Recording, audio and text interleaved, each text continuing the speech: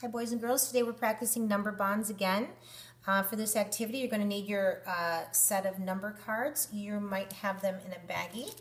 I've just taken mine all out so that I'm ready for my activity.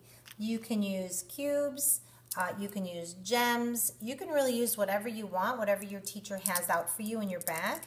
Um, we're going to focus in on one at a time.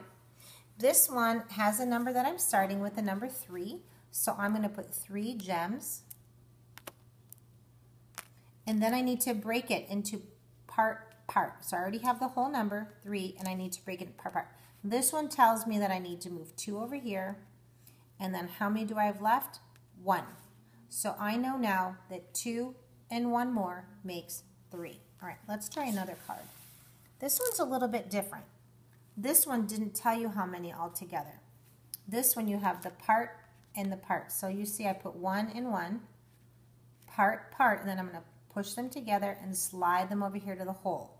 So I have two. So I have one and one more makes two. All right, let's take a look at this one. All right, how many gems do you think I should put here? That's right, three. One, two, three. And how many gems here? Three. One, two, three. Now, what do I need to do? I have my part part, but I still don't know how many altogether. I need to find out the whole number. So that's right. What I'm going to do is push them all over here. Then I'm going to count them. One, two, three, four, five, six. So I know that three and three more makes six.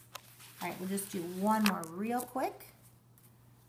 Okay, this one has the whole number. One, two, three, four. Can you guess what I need to do? That's right, I need to move two over here. Then I have leftovers, I put them over here. So now I know that two and two more makes four.